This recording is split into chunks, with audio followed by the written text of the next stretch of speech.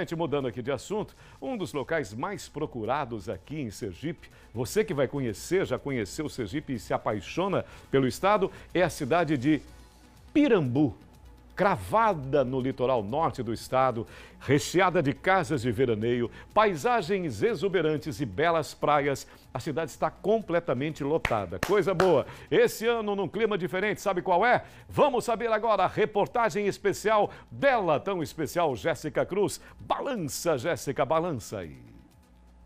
As belezas naturais de Pirambu são um convite para qualquer um. Em época de carnaval, este também é o destino procurado por muitos. Neste final de semana, a cidade estava movimentada, não como em anos anteriores. Aqui no município, conhecido pelas tradições carnavalescas, este ano não teve programação da prefeitura.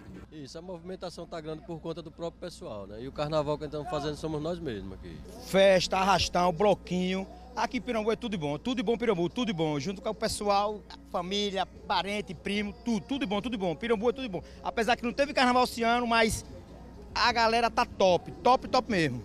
Quem estava em Pirambu aproveitou a folia como pôde. A alternativa para muita gente foi a música e a praia.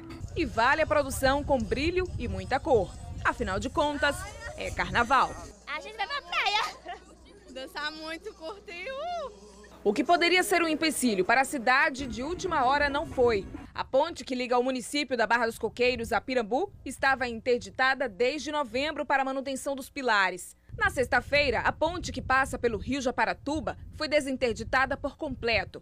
Isso também fez com que o litoral da cidade estivesse movimentado.